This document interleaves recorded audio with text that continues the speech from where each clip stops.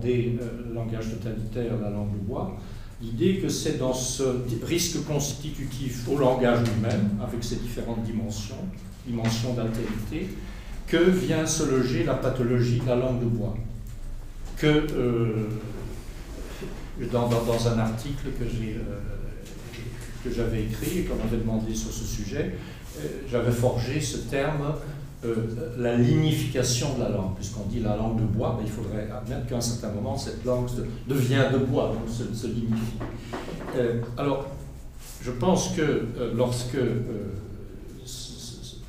se produit quelque chose comme la langue de bois, des langues totalitaires, mais aussi d'autres langues de régime non totalitaire, hein, on peut en parler, lorsque la langue se, se lignifie, se fige, il n'y a plus de sujet présent à ses propres dires et susceptible d'assumer sa propre parole.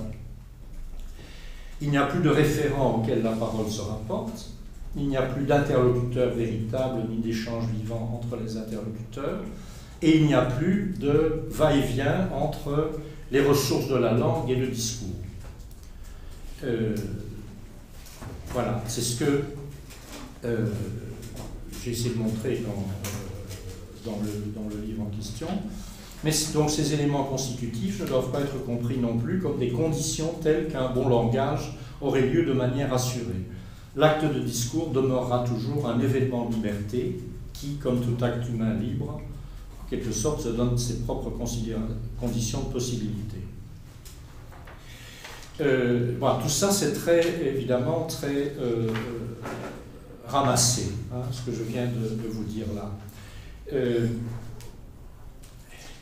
mais ça se, euh, ça se précise dans, ce que j'ai pu écrire. Euh, par exemple, à propos des, des ressources de la langue. La langue de bois, ah, c'est chez moi ça, excusez-moi. Ça, c'est, je pense qu'il faut peut-être, je ne sais plus comment c'est un appareil nouveau, laissons sonner si vous voulez.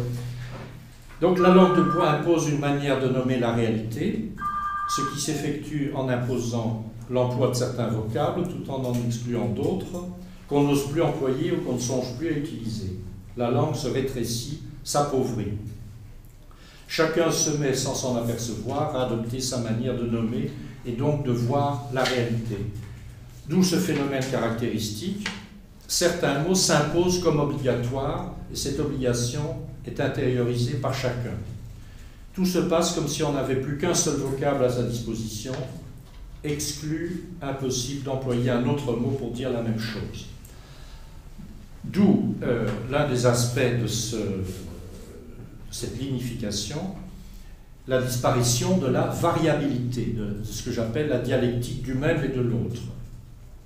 Euh, et euh, parmi les auteurs que j'ai commentés, il y a Victor Klemperer dans le LTI, qui euh, note la propagation irrésistible de vocables tels que fanatisme, par exemple, dans la langue nazie, qui impose à l'insu du locuteur une certaine description de la réalité, semble annihiler tous les autres termes possibles contenus dans le trésor de la langue. Alors, ce que je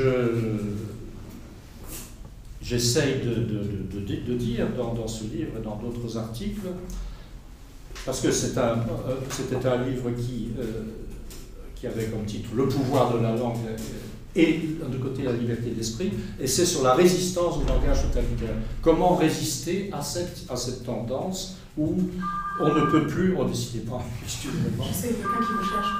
Non, quoi? Euh, Non, non, c'est moi. Je pense que c'est mon.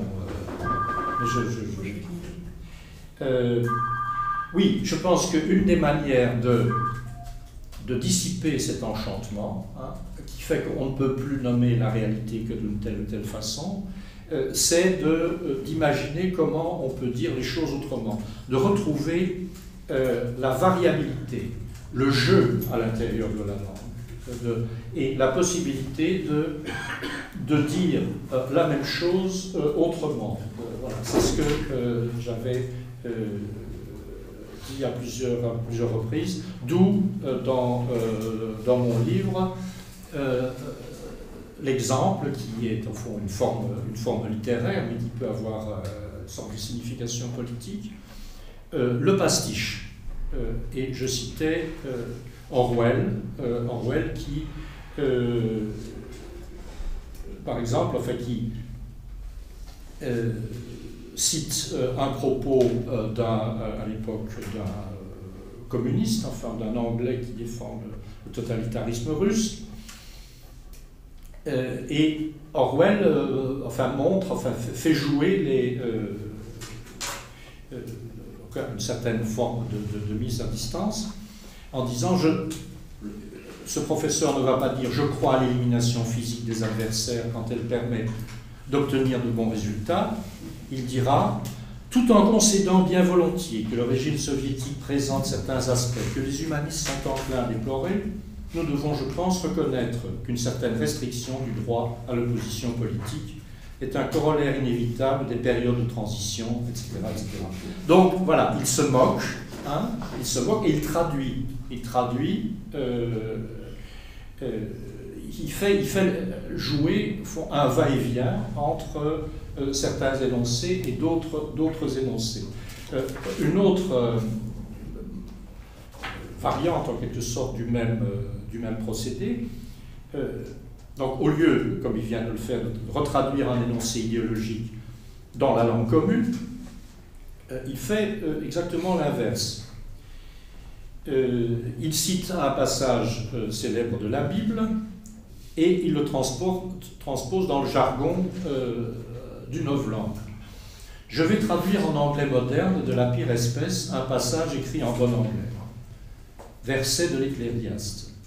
Je me retournai et vis que sous le soleil, la course ne va pas au plus rapide, ni la bataille au plus puissant, ni le même pain au plus sage, pas plus que les richesses ne vont aux gens de grande compréhension, ni les faveurs aux hommes habiles, mais l'occasion peut s'offrir à tous. Le voici en anglais moderne, donc si vous voulez, en, en novlangue ou en langage biologique.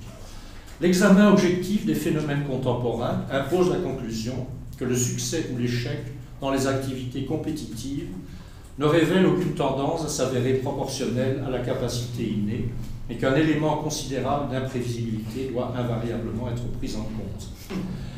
Voilà, donc ce sont des petits exercices, hein, euh, exercices euh, pastiches si vous voulez, euh, d'Orwell, mais qui auquel je donne une certaine signification plus générale, c'est remettre du jeu à l'intérieur de la langue et faire que on, introduit un effet de, recul, de distance, mais qui aussi peut nous permettre de comprendre qu'on peut, on peut dire la même chose autrement. Donc faire réapparaître ce que j'appelle la dialectique du même et de l'autre dans la parole avec évidemment ce que, euh, bon ça c'est cet exemple un peu littéraire aussi, mais euh, euh, une langue, en principe, doit nous donner, c'est ce que j'appelle les ressources de la langue, la possibilité de dire la même chose autrement. Est-ce qu'une langue dans laquelle il n'y aurait qu'une seule formulation pour la même chose, est-ce qu'une telle langue serait encore une, une vraie langue? Euh, Voilà. Donc avec ce, euh, cette, idée euh, qui rejoint alors ce que j'ai pu par ailleurs écrire sur, sur Eusinga et le jeu, l'idée que dans, dans la parole, il y a euh, cette dimension de jeu, euh, d'ouverture qui, euh, voilà, qui serait elle-même, sinon constitutive, en tout cas importante pour le langage. Alors ça m'a inspiré encore des développements, mais qui sont sans doute trop longs pour que je les explique ici. Est-ce que et, là, je, songe directement à Eusinga et à son livre euh, Homo Ludens et aux, considérations, aux, commentaires que j'en ai faits. Euh, est-ce qu'il euh, n'y a pas, est-ce que l'Homo Ludens ne serait pas une condition de l'homoloquence hein? Est-ce que la, capacité de, jouer, mais une capacité de jouer qui doit être précisée, ne serait pas une condition de possibilité de la langue et de, la parole.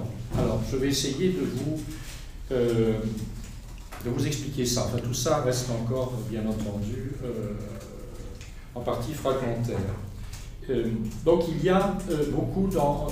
Je, enfin, je regrette que peut-être vous n'ayez pas lu mon, encore mon, texte sur Zinga, ça aurait été plus facile il y a des ressemblances euh, entre euh, le jeu tel que euh, Zinga le, décrit et, la langue.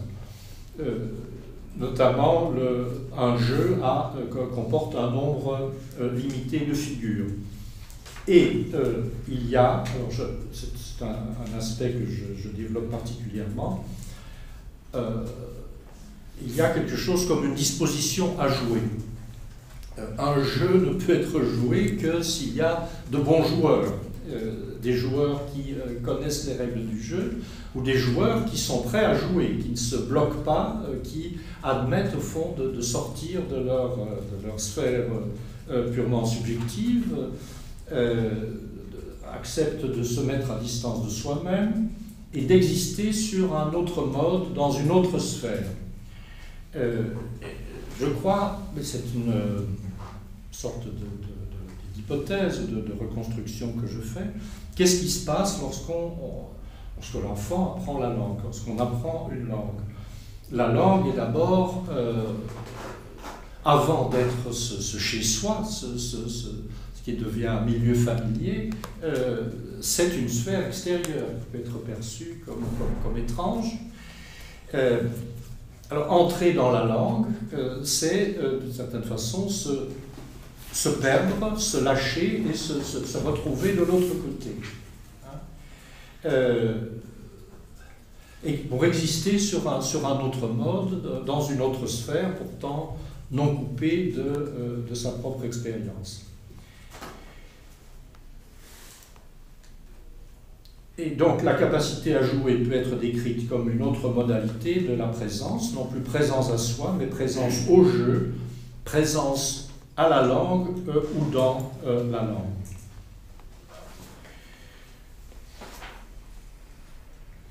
Et avec aussi d'autres euh, analogies que de la même façon que, comme l'écrit Gadamer, les jeux ont chacun un esprit propre et particulier qu'il faut comprendre, dans lequel il faut s'inscrire. Euh, il en va de la même façon euh, pour la langue et pour, euh, pour les langues. Et j'avais donc aussi trouvé, mais ça ce serait, voilà, ça m'amènerait beaucoup plus loin, une citation de, de ce grand linguiste et philosophe du langage allemand, peu connu, euh, pratiquement inconnu, Johannes Lohmann, euh, qui euh, a écrit ceci dans, je, traduis ce passage, en disant le, phénomène langage est le jeu des jeux. Certes, on doit également concevoir le concept de jeu de manière suffisamment large et le situer dans la bonne perspective. Il faut surtout le dégager de l'antithèse actuellement mise à l'avant-plan jeu sérieux, etc. Le jeu, compris de manière spéculative, n'est pas une activité humaine parmi d'autres, mais l'ouverture du champ de toutes les activités humaines. Euh, voilà, c'est quelques considérations euh, très, euh, très insuffisantes sur le jeu et la, dirais-je, l'analogie profonde entre la capacité à jouer et la capacité à parler, entre les différents types de jeux euh, euh, ayant chacun leurs règles et les euh, différentes langues. Hein. Donc voilà, ce que je vous dis là, ce ne sont que des, que des, esquisses que je vous propose là. Alors, il y aura encore, j'avais encore beaucoup de choses à dire, mais le temps passe et la, fatigue commence à se faire sentir. J'aimerais bien aussi, enfin j'aurais bien aimé, parce que peut-être qu'il y a ici des gens qui, qui connaissent la mieux que moi, aussi aborder la question de, de l'aphasie. Euh, donc je, je me suis confronté à la langue totalitaire, à la langue de voix, comme donc quelque chose comme une pathologie euh, du, langage, pathologie qui en même temps nous fait comprendre à contrario, ce qu'est le langage, enfin l'essence même du langage, comme d'ailleurs d'autres phénomènes, ressort très souvent par la confrontation à ce qui menace cette capacité même. Donc c'est comme ça que je me suis donc intéressé à la, à la langue de bois aux langues totalitaires. Alors il y a, et là je, manque d'informations, sinon j'ai lu quelques auteurs qui sont euh, assez anciens, l'aphasie. Euh, Est-ce que euh, quand, on, quand, quand, je lis des, de grands auteurs comme Goldstein, comme Jacobson, peut-être en, choisissant, en disant pas tout, en faisant ressortir certains aspects, il me semble que euh, leur description de l'aphasie également nous font comprendre, à contrario, euh, le fonctionnement normal du langage, ce qui m'amène à parler d'un bon langage. Bien sûr, euh, ça pose le problème énorme de la, relation entre le, normal et le, et le, pathologique. Mais je crois que, pour paraphraser Hein, une phrase célèbre de Hölderlin, euh, là où le langage défaille, se révèle aussi son essence.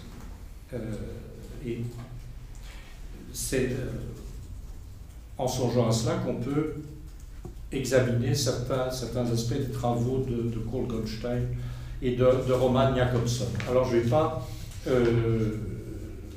vous lire tout cela, et c'est très compliqué, je ne suis pas sûr d'avoir euh, entièrement saisi, mais euh, il me semble que les, travaux de Goldstein mettent en évidence ce point capital.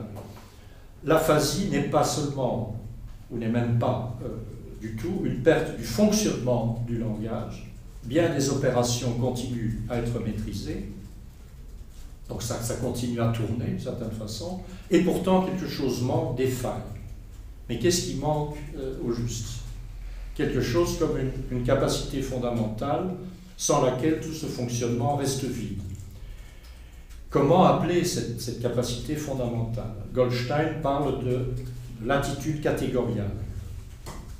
Euh, ça, mériterait être, précisé, mais donc en tout cas, lorsque cette, euh, cette